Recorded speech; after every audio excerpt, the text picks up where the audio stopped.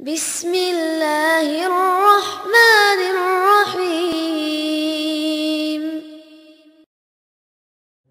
بسم الله الرحمن الرحيم. الحمد لله رب العالمين والعاقبة للمتقين ولا عدوان إلا على الظالمين والصلاة والسلام على أشرف الأنبياء والمرسلين وعلى آله وأصحابه أجمعين ومن تبعهم بإحسان إلى يوم الدين أما بعد. رب اشرح لي صدري ويسر لي أمري واحلل عقدة من لساني يفقهوا قولي. அளவற்ற அருளாளனும் நிகரில் அன்புடனுமாகிய எல்லாம் வல்ல அல்லாஹின் திருநாமத்தை கொண்டு ஆரம்பம் செய்கின்றேன். கண்ணியத்துக்கும் பெருமதிக்கும் உரிய அல்லாஹின் அடையார்களே இஸ்லாமிய சகோதரர்களே உங்கள் அனைவருக்கும் இஸ்லாத்தின் காணிக்கான சலாத்தை தெரிவித்துக் கொள்வது பெருமகிழ்ச்சி அடைகின்றேன். அஸ்லாம் அலைக்கும் வரமத்துல்லாஹி வபரகாத்தும் அல்லாஹ்வுடைய பேரர்களால் வார வாரம் நடைபெறக்கூடிய எங்கள் இந்த மார்க்க விளக்கு வகுப்பில் கடந்த சில வாரங்களாக ஹஜ்ஜுடைய சட்டங்கள் தொடர்பாக நாங்கள் இந்த திங்கட்கிழமை வகுப்பில் பார்த்து வருகின்றோம். கடைசியாக நாங்கள் என்ன செய்தோம்? ஹஜ்ஜுடைய ஒழுங்குகள் சில முக்கியமான ஒழுங்குகள் தொடர்பாக பார்த்தோம். இந்த வாரம் நாங்கள் இன்ஷால்லா இஹ்ராம் ஹஜ்ஜுடைய ஹஜ்ஜு மற்றும் உம்ராவுக்காக நியத்து வைக்கக்கூடியவர் அந்த கிரியைக்குள்ளே நுழையக்கூடியவர் வந்து அவருடைய நுழைவு அதாவது அந்த கிரியை ஆரம்பிக்கின்ற நேரம். ஹஜ்ஜு உம்ராவுடைய கிரியைகள் ஆரம்பிக்கின்ற நேரம் தான் இந்த இஹ்ராத்தோடு இந்த இஹ்ராம் ஆரம்பி இஹ்ராத்தை அணிவதோடு அந்த நியத்து வைப்பதோ என்ன செய்கின்றது? ஹஜ் உம்ரா ஆரம்பிக்கின்றது. அப்ப இந்த எஹ்ராம் தொடர்பாக மிக முக்கியமாக நாங்கள் என்ன செய்கிறோம் இந்த வகுப்பில் வந்து பார்க்கிறோம். இந்த எஹ்ராம் என்றது என்னன்னு சொன்னால் ஹிஜ்- ஹஜ்ஜுடைய கிரியைகளில் நுழைவதைத்தான் இஹ்ராம்னு சொல்கின்றோம்.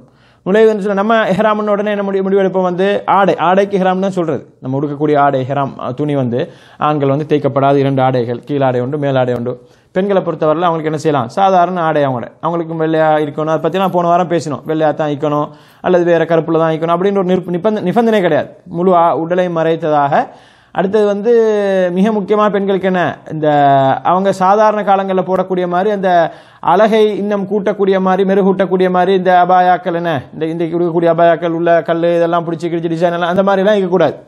எஹராம் ஆடையில் மிக முக்கியமாக நோக்கப்படுவது என்னன்னு சொன்னால் எளிமையானதாக இருக்க வேண்டும் அதனால தான் ஆண்களுக்கு என்ன செய்யப்பட்டுக்குது அந்த கஃபன் துணிக்கு ஈடாக கஃபன் துணியை போன்ற அந்த அமைப்பில் வந்து அந்த ஆடை அங்கு சொல்லப்பட்டிருக்க காரணத்தால் பெண்களும் கட்டாயமாக பெண் எங்களுக்கு எஹராம் துணி இல்லை தானே சொல்லி அவங்களுக்கு நினைச்ச அபாயாக்கள்லாம் கொடுத்துட்டு வர முடியாது.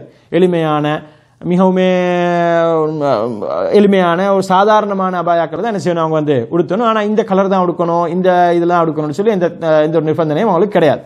இப்போ இந்த மாதிரி ஹஜ்ஜிக்காக உம்ராவுக்காக நாடுகின்றவர் வந்து அந்த குறிப்பிட்ட இடங்கள் இருக்கின்றன. குறிப்பிட்ட இடங்கள் நாங்கள் சில பின்னால் பார்ப்போம்.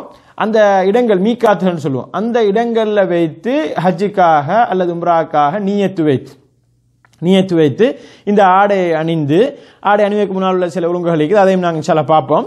அணிந்து தன்னுடைய கடமையை ஆரம்பிப்பது தான் ஹிராம் என்று சொல்கிறது இப்போ இந்த ஹெராமுடைய விஷயத்தை பொறுத்தவரை நம்ம நாட்டிலேருந்து வரக்கூடிய மக்களை பார்த்தீங்கன்னு சொன்னால் அவங்களுக்கு என்ன செய்யணும்? அவங்க வந்து ஃப்ளைட்டில் வச்சு தான் அவங்க என்ன செய்யணும்? நீயத்து வைக்கணும்.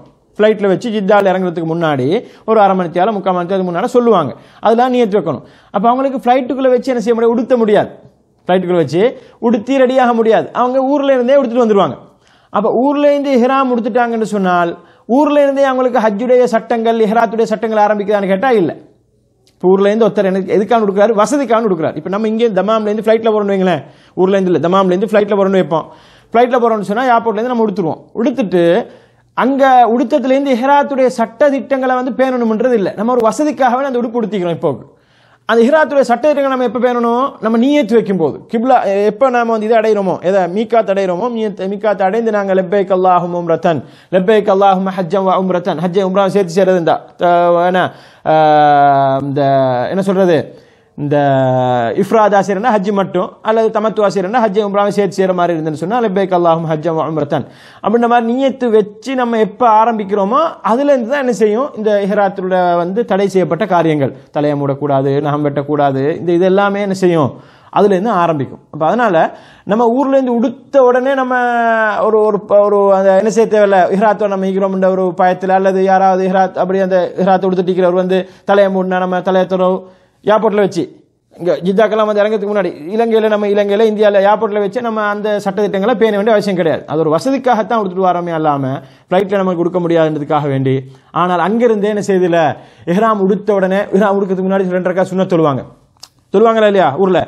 இப்படி சுண்ணத்தை ஏதாவது ரசூல்லா ஸல்லல்லாஹு அறிமுகப்படுத்திக்கிறாங்கன்னு கேட்டால் இல்லை. ரசூல்லா ஸல்லல்லாஹு அவங்க இஹ்ராத்துக்கு முன்னாடி நீங்கள் ரெண்டு தொழுதுங்க. அப்படின்னு சொல்லி எங்கேயுமே சொல்லலை. எங்கேயுமே சொல்லலை இஹ்ராத்துக்கு இப்போ இங்கே கூட என்ன செய்வாங்க? மீக்காத்துக்கு போனால் மக்கள் வந்து குளிச்சுட்டு குளிக்கிறதுக்கு முன்னாடி அந்த இஹ்ராத்துடைய அந்த ஒழுங்கல் நாங்கள் பார்ப்போம் நகம் வெட்டுறது குளிக்கிறது இந்த மாதிரி சுத்தம் செஞ்சுட்டு இஹ்ராத் அணிஞ்சதுக்கு பின்னால் ஓடி ஓடி போவாங்க பள்ளிவாசலுக்கு. போயிட்டு ரெண்டு ரக்கா தொழுவாங்க இஹ்ராத்துடைய சுண்ணத்து இது ரசூல்லா ஸல்லல்லாஹு சொல்லி தந்தாங்களா? எங்கேயாவது சொன்னாங்க ரசூல்லா ஸல்லல்லாஹு நாலு வாட்டி உம்ரா செஞ்சுக்கிறாங்க ஹஜ்ஜி செஞ்சாங்க சொன்னாங்களா? சஹாபாக்கள் யாரும் இல்லை இது. இது வந்து நம்மளாக ஏற்படுத்தி கொண்டு உண்டு. அதாவது தஹியத்துல் மஸ்ஜித் மாதிரி உதவுக்குரிய காணிக்க மாதிரி நம்மளாம் நினச்சி ஒன்றா நாங்கள் செய்கிறோம் ஆனால் ஒரு மனிதன் வந்து பள்ளிக்குள்ளே இப்போ நாலு பேரோட பேத்திக்கிறாரு இவர் எஹ்ராம் எடுத்துட்டாரு குளிச்சு எஹ்ராம் எடுத்து ரெடி ஆகிட்டாரு மற்றவங்க வரத்துக்கு லேட் ஆகுது. சரி வெளியே நிற்கிறதுக்கு எதுக்கு? பள்ளிக்குள்ளே போயிட்டு ஒரு கொஞ்சம் ஓதலாம். இல்லாட்டி பள்ளிக்குள்ளே போயிட்டு கொஞ்சம் நிற்கலாம்னு சொல்லி பள்ளிக்குள்ளே போகிறாரு பள்ளிக்குரிய காணிக்க ரெண்டு ரக்கா துழுறாரு இதுல எந்த பிரச்சனையும் கிடையாது. பள்ளிக்குரிய காணிக்க ரெண்டு ரக்கா துழுறாரு அல்லது அந்த நேரத்தில் வந்து ஒரு வக்துடைய நேரமாகுது லுஹர் தொழுகையோ அசர் தொழுகையோ மாறிபோ இஷாவோ ஃபஜ்ரோ ஒரு வக்துடைய நேரமா இருந்தால் வக்துடைய நேரத்தை வக்துடைய தொழுகையை தொழுகிறார் அதுல எந்த பிரச்சனையும் கிடையாது தொழுது தான் ஆகணும் வரும் வக்துடைய தொழுகை பிற்படுத்த முடியாது தொழுகிறார் அந்த இடத்துல அப்ப இந்த மாதிரி ஒரு தொழுகை தஹியத்துல் மஸ்ஜிதோ அல்லது இவர் மற்றவங்களை வெயிட் பண்றதுக்காக வேண்டி உது செஞ்சதுக்காக வேண்டி தஹியத்துல் உது உதுவுக்குரிய காணிக்கையாகவோ இந்த மாதிரி அவர் தொழுகிறான்னு சொன்னால் இந்த பிரச்சனையும் கிடையாது இது வந்து வரவேற்கத்தக்கது ஆனால் இதை ஒரு எஹராமுடைய சுண்ணத்து அப்படின்ற மாதிரி இஹ்ராத்துக்குரிய சென்றக்கா சுண்ணத்துன்னு சொல்லி தொழுவார்னு சொன்னால் இது வந்து என்ன நபி வழிக்கு மாற்றமானது இப்படி ஒரு தொழுகை உண்டு. இஸ்லாத்தில் வந்து சொல்லப்படலை என்பதை வந்து நம்ம என்ன செஞ்சுக்கணும்? விளங்கிக்கணும்